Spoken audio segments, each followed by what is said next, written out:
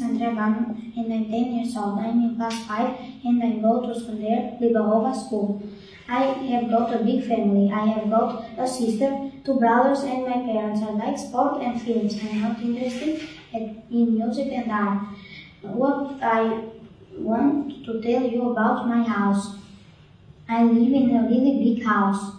There are four bedrooms, a living room, a kitchen, a dining room, and three bathrooms. Two. There isn't a balcony, but there is a garden with many flowers. Uh, I do my homework in my uh, in my bedroom. In my bedroom. Uh, I love my house because it's very modern and beautiful. What